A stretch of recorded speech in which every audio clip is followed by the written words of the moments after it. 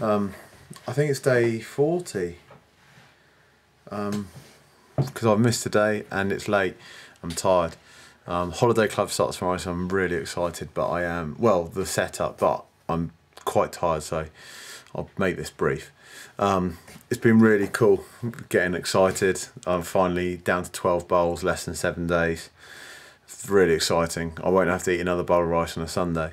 Um, but the stark reality that there are a billion people that eat this way every day. They do not have a 47 days where they get to go to McDonald's and TGI's. Um, so yeah, that's a bit of a challenge for me to be honest. Um, what will I do to make a difference? Um, I'm going to make a decision by the end of this week and I will let you know as to how I'm practically going to make a difference.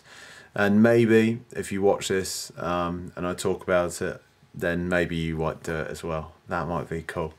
Um, so yeah, my, my fact today about rice is um, it's a dubious one. Um, it's not the nicest of fact either. It is that if you feed, this is a rumour, if you feed pigeons rice when it's not cooked, after they eat it, they can explode because the rice expands and the pigeon's not that big and so bang.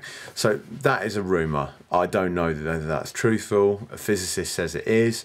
Another person says it's not. But who, who knows? So anyway, that's fact. That's the stuff. See you tomorrow.